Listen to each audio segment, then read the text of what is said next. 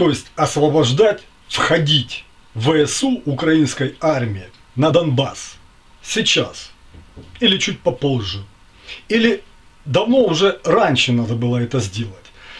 Нужно теперь это делать с такой формулировкой. Даже на баннерах или на флагах украинских танков написать.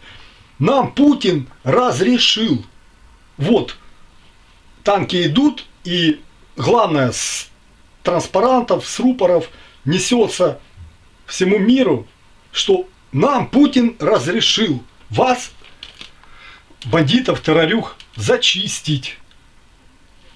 Это вполне логично коррелируется с тем, что Путин хочет, чтобы братский как бы народ с его точки зрения и дальше оставался живым, братским и тому подобное народом. Вот из этой формулировки ж Путин говорит, что их там нет. Значит, а кто там? Бандиты, значит, их нужно защищать. Их Путин разрешил. Вперед, значит, на зачистку с дозволением Путина.